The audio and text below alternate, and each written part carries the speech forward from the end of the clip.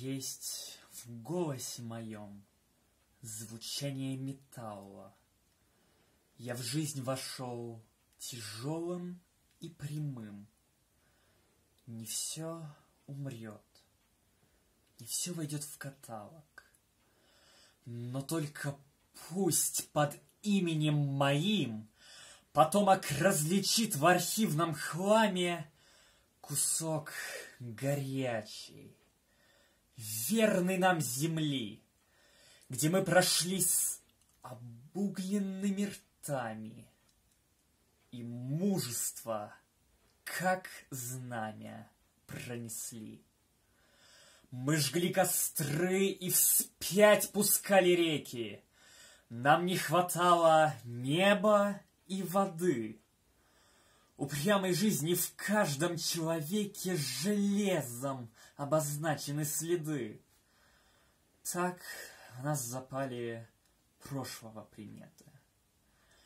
А как любили мы, спросите жен, Пройдут века и вам солгут портреты, Где нашей жизни ход изображен.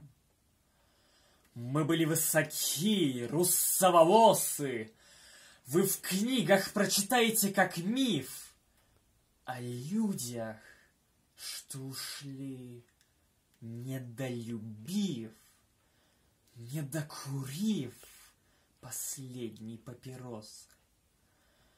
Когда б не в бой, не вечные искания Крутых путей к последней высоте, Мы сохранились в бронзовых вояниях, В столбцах газет, в набросках на холсте. Но время шло, меняли реки русла, И жили мы, не тратя лишних слов чтоб к вам прийти лишь в пересказах устных, да в серой прозе наших дневников.